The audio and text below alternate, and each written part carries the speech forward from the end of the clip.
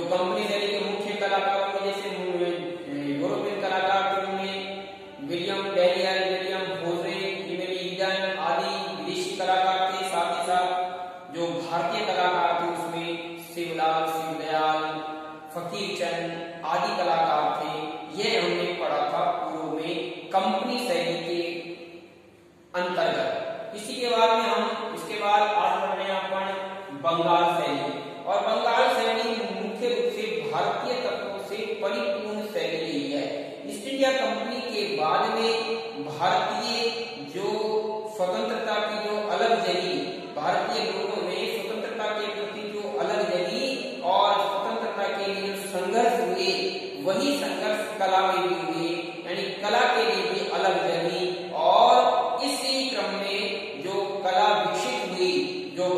सारे तत्वों से होकर के जो कला विकसित हुई, वह बंगाल शैली के नाम से जानी जाती है। इसका नाम बंगाल क्यों पड़ा? बंगाल शैली क्यों क्योंकि बंगाल मूल रूप से इसका प्रधान केंद्र था। अर्थात भारतीय इसको हम भारतीय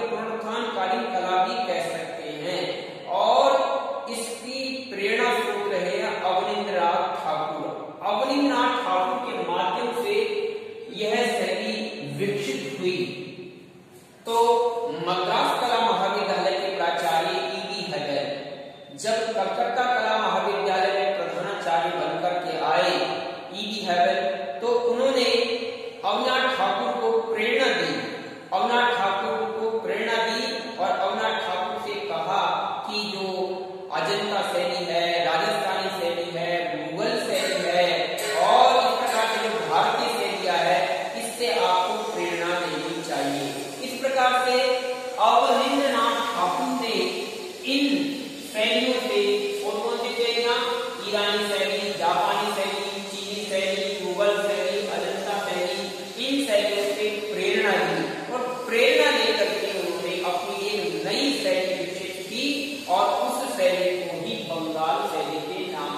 माना जाता है। तो कुल मिलाकर के भारतीय तत्वों से अवनिंद्रनाथ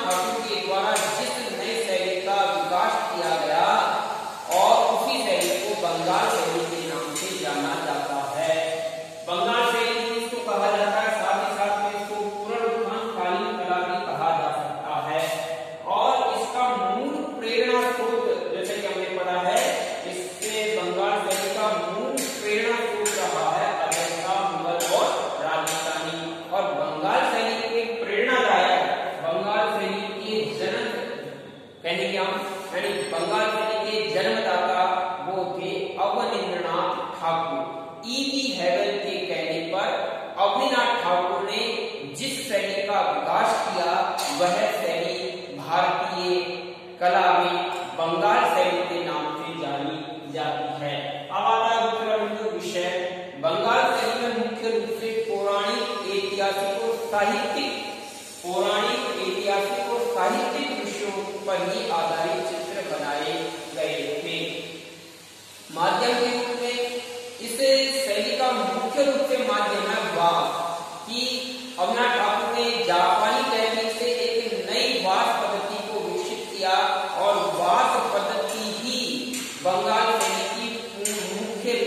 माध्यम रहा है, अर्थात बंगाल सैनिक का मुख्य माध्यम रहा है, वास।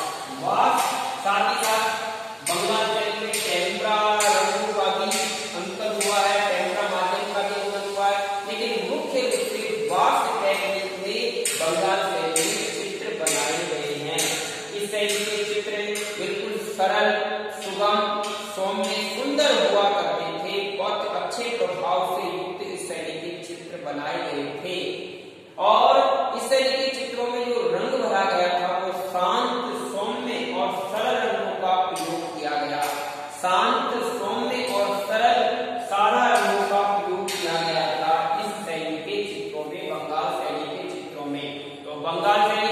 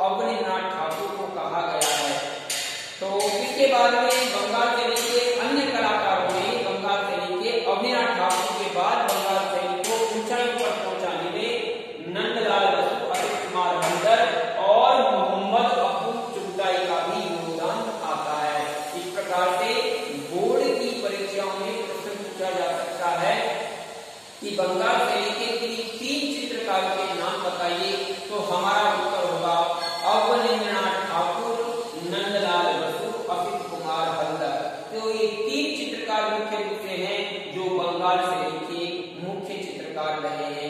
तो इन्होंने मुख्य रूप से पौराणिक, ऐतिहासिक और साहित्य विषयों का अंकन किया है। साथ ही साथ इन्होंने मुख्य रूप से वास्तु तकनीक में चित्र बनाए हैं और वास्तु